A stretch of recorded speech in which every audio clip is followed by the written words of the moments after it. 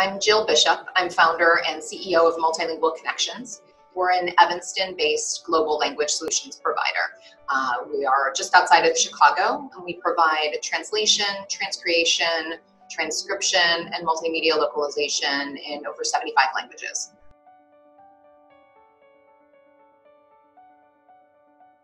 Well, we work across industries. So we have government clients like the state of Illinois and the Chicago Housing Authority. We have uh, large brands like Airbnb and Allstate. We've worked with Netflix in the past. We work with small um, non for profits, uh, marketing agencies, research companies, universities, elementary and high schools, really all across the board. Law enforcement, uh, law firms.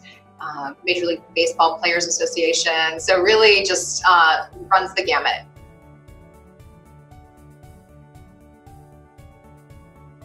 Our work spans a variety of different services. So um, translation is uh, translating text to text, and so that could be um, brochureware, could be websites and apps, um, surveys. Um, uh, legal contracts, uh, all different types of written contract. Uh, con- sorry, all, all types of written content. Um, on the transcription side, that's audio and video transcription. It could be for focus groups, um, police interrogations and body wires, one-on-one interviews, uh, video footage, documentaries, uh, a lot of research-related content. Uh, so that's transcription. Yeah. Uh, we do transcreation of marketing content, so not just translation, but creation of new content in a new language and culture that is relevant to that audience. Um, and then subtitling and voiceover uh, for e-learning, for videos, for film, for advertising. We work in over 75 languages. By far and away, Spanish is the most popular, uh, the most frequently requested uh, language that we work in. Uh, and then we have our next 20. So we do all of the, the Western European languages. We do Chinese, Korean, Vietnamese, Japanese. We do Arabic and Hebrew, Russian, Hindi, German. Uh, so we've got our, our languages that we're working in. We have multiple requests every day. And then we have the languages that are more of an infrequent request. So it could be once a week or once a month. Um, we have linguists all around the world that specialize based on native language, region, industry expertise, and software requirements. We've got hundreds and hundreds of linguists um, because we we have to match our linguists to our projects very specifically based on those requirements. Um, and then we have resources, we have relationships with agencies in other countries, uh, in other regions of the world for um, much less common requested languages, some of the African dialects or African languages that, that come up that we don't have um, in-house resources for or, or, frequent resources for. We'd rather um, work with trusted partners uh, for some of those languages.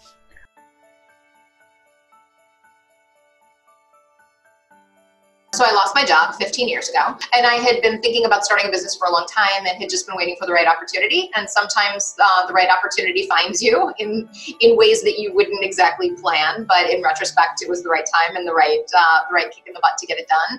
Uh, so my husband and I were out to dinner at a Cuban restaurant in Chicago, and I started charting out my possible directions on my placemat.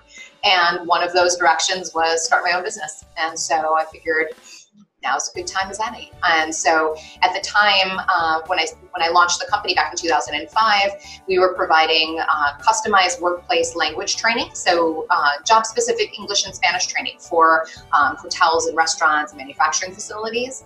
And just probably a month later, um, somebody I went to college with called and asked if I could translate a website into Spanish. And I said, sure.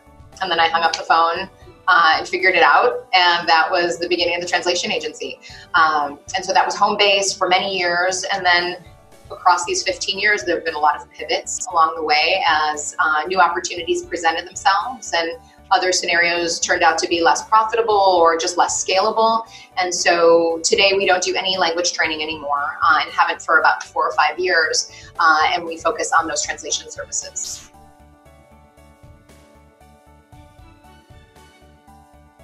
In the beginning, I wanted to be everything to everyone. And part of that has been beneficial because we started offering services that we otherwise wouldn't have thought to do. So when a client came and said, can you do translation? I said, sure. When somebody said, can you do transcription of audio for a life history project for the University of Utah? I said, sure. And all of those became really great opportunities. Um, at the same time, um, I decided to offer, when we were still doing corporate language training, I decided it was time to move out of our basement and into an office space and uh, build in classrooms so that we could do our training. And I figured at the same time, why don't we offer community classes, uh, not just for workplace, but for anybody who wants to learn a language. So we opened a language school for adults and for children, a dozen languages, after school programs, summer camps, weekend bilingual boot camps, and it just got to the point where it was too much of too much. And each one of those areas was a separate business. And I was trying to raise a child and have some semblance of, of work life balance and a few minutes to myself. And I realized that I couldn't do everything and do it well. Uh, so that's when I decided to do less, do it better.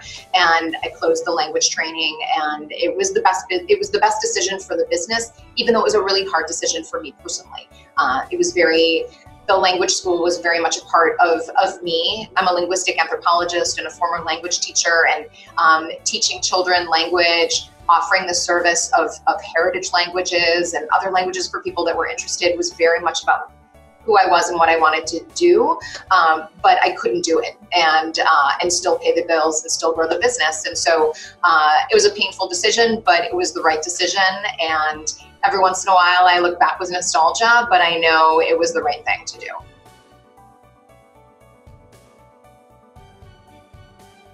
Certainly machine translation is a trend that's been around for a long time and growing in sophistication. Uh, and that's something that we have to we have to think about and understand where that belongs uh, both for us as a company and for users in general. There are cases where machine translation makes a lot of sense and then there are those where it doesn't and where human knowledge and nuance and culture really are, are essential and the machines aren't sophisticated enough to understand that um, so at the same time that machine translation is increasingly used there's also thankfully increasing awareness of the importance of of, of, of that nuance and where humans fit in. Um, I would say also crowdsourcing. There's a lot, uh, there are a lot of platforms for translation and transcription that break up a file into lots of little files, send it out, people grab it. They do their they could do it on their phone while they're waiting for the bus. They could, you know, do it in all different types of ways. And then that content is is stitched back together and delivered to the client. Um, there's also very, very clear cases for where that's going to make sense. And then other cases where where we come in where consistency and quality and human touch um, really make make the difference. Um, we we want our clients not to look at us as a vendor, but more as a partner. It's not about just a transaction, but it's a relationship. And so if you've got complex marketing needs, your entire business strategy rests on on on a rollout internationally where where nuance is everything and really understanding your user and connecting with them is everything.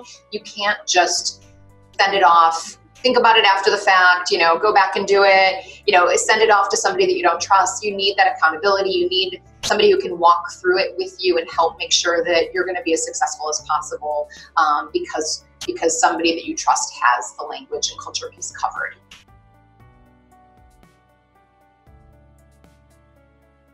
it's certainly an interesting time, uh, challenging time for a lot of us. Um, we have, we're based in the Chicago area and we have 13 employees that are theoretically based in our office here, uh, and the rest are um, international or um, in other US states. And so we very quickly made the change to full time remote, and that has um, it, it's given us really good insight into how the other half, our other half, lives every day.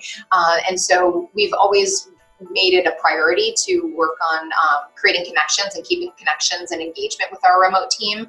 Now that all of us are remote, we it, it opens our, our eyes to new opportunities and new challenges to make sure without that mothership that we used to have, um, making sure that everybody feels connected to each other and to the company and has fun. And so, uh, so that's definitely on our mind. Uh, another thing is making sure that we are the flexible partner that our clients uh, need us to be for them as their businesses change in ways that they can't even anticipate um, from one day to the next. Uh, so we're doing uh, a lot, we, are seeing a lot more requests for e-learning localization, um, all kinds of online platforms transcribing Zoom meetings and video. Uh, so we want to be there for our clients now and in the future.